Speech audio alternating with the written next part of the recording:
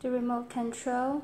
The button B stands for turn on the camera. Button A stands for turn off the camera.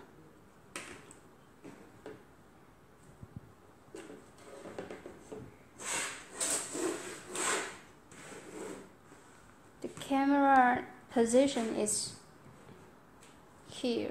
Three, two, three, two, three, two.